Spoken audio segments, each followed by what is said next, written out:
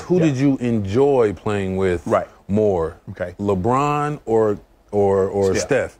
My answer was I enjoyed playing with LeBron the first year I was on the Lakers. But they just they cut off the first year. They just said he enjoyed playing with LeBron. And then, you know, clickbait. But I enjoyed playing with LeBron the first year on the Lakers because I was the starting center. Right. I had the highest, I had, had my uh, career high 30 and 20 game. Right. And I had scored, I had a career high in points that year. Right. So enjoyment, yes, I enjoyed be, succeeding. I, I didn't enjoy not playing a lot in Golden State, but I enjoyed winning. Right. I enjoyed hanging Right. out with those guys. Right. I enjoyed playing. But you have everybody has that selfish bone in their body where like I want Right. to succeed too. Things like Bill Russell was a was a player coach one year. Yeah.